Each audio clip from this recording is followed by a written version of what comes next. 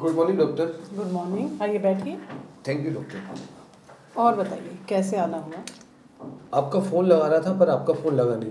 तो मैंने सोचा कि डायरेक्ट मैं सीधा आपके पास चला हूँ। ये तो बहुत अच्छे किया और डॉक्टर मुझे आपसे कुछ डिस्कस करना है। बताइए। डॉक्टर ये बताइए सेक्स और अल्कोहल में क्या फ़र्क है? मतलब मेरा कहने का मतलब ये है सेक्स से रिलेटेड लाइफ में अल्कोहल का क्या मेल जोल है? अगर सेक्स और अल्कोहल दोनों को अगर साथ मिला जाए, और मैं इनकी बारीकियाँ जानना चाहता हूँ कि इन दोनों में क्या डिफरेंस है। हाँ देखिए, बहुत अच्छी बात है सागर जी, कि आप आए। मेरा फ़ोन नहीं लग रहा था।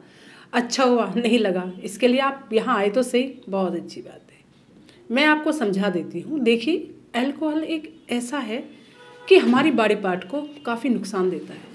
और ख़ास तौर से आप जो अभी जल्दी शादी हुई मैरिज लाइफ में इसका ज़्यादा इफ़ेक्ट पड़ता है। मैं आपको प्रॉपर बताती हूँ कि होता क्या है कि जब हम एल्कोहल लेते हैं, या स्मोक करते हैं, उस दौरान हमें यह लगता है कि हम ज़्यादा एक्साइटिंग होंगे या हम अपनी वाइफ के साथ काफ़ी टाइम स्पेंड कर पाएँगे।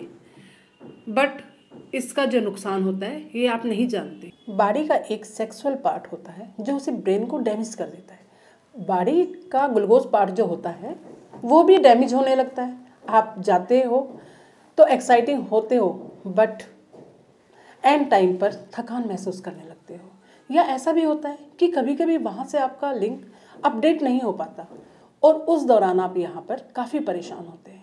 और ना ही आपके साथ में जो आपकी पार्टनर भी परेशान होती है। डॉक्टर साहब इससे कैसे बचा जा सकता है? देखिए इससे बचा जा सकता है। इसके लिए सबसे पहले तो आपको ड्रिंक कम करना होगा स्मोकिंग क्योंकि ये दोनों चीज़ें ऐसी हैं जो हमारी बॉडी में काफ़ी इफ़ेक्ट करती हैं। जैसे कि आपने ये सुना होगा या खुद भी ड्रिंक करते हैं तो आपको ये रियलाइज़ होता होगा कि जिस दौरान आप ड्रिंक करते हैं उस दौरान आप वाइफ के पास जाकर आप चाहते हैं कि आपकी इच्छा होती है सेक्स करने की बट आप नहीं कर पाते। या कोशिश करते भी हैं तो आप दोनों पार्टनर लेकिन वहाँ से आप सक्सेस नहीं हो पाते हो, थक जाते हो। या कभी कभी आपको अंदर से चिड़चिड़ापन महसूस होता है कि मैं करना चाहता हूँ और कर ही नहीं पाता हूँ। इससे बचने के लिए आपको जूस ताज़े फल फ्रूट या सैलड लीजिए। अगर आप गाजर ओनियन इन सब चीज़ों का प्रयोग करते हैं, नियमित रूप से तो आपकी सेक्स पावर बहुत ज़्यादा बढ़ जाती है। इससे जो आपकी लाइफ सक्सेस हो रहती है और दूसरी चीज़, आप जितना कोशिश करें अल्कोहल कम करें, क्योंकि अल्कोहल के दो नुकसान हैं। और अभी तक आपने अल्कोहल का कोई ऐसा निदान नहीं निकला है। जब तक आप खुद से नहीं चाहेंगे कि आप छोड़ें तो आप इसे छोड़ नहीं सकते। इसके मेडिकल में बहुत सारे ऐसे मेडिसिन आए हैं जिससे एल्कोहल छुड़ाया जा सके। ऐसा कोई मार्केट में अभी तक कोई ऐसा मेडिसिन बना ही नहीं। आइए, मैं आपको एल्कोहल छुड़ाने के कुछ ऐसे तरीके बताती हूँ। कुछ नहीं आया एल्कोहल छोड़ना या ना छोड़ना सिर्फ़ आपके ऊपर डिपेंड करता है। आप अल्कोहल नहीं छोड़ना चाहते तो आप नहीं छोड़ पाएँगे। अगर आप छोड़ना चाहते हैं और आप अंदर से सोच लिया कि मैं अल्कोहल बिल्कुल छोड़ दूँगा, तभी आप छोड़ पाएँगे। सिर्फ़ आपको सेक्सुअल रिलेशनशिप में ही प्रॉब्लम नहीं होगी, बल्कि इससे आपके बॉडी में बहुत सारे इन्फेक्शन हो सकते हैं। इससे, इसके ज़रिए आप, हमारी बॉडी में सिर्फ़ एक सिंगल पार्ट होता है लीवर और उस पर इसका बहुत बुरा असर पड़ता है।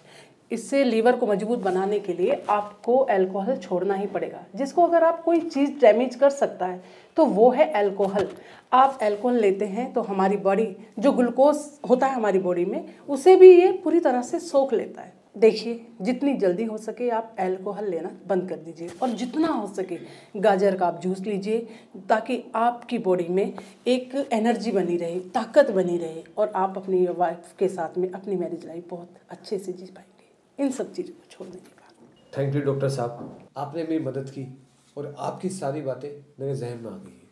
और इन बातों को मैं फॉलो भी करूँगा। जी। Thank you okay doctor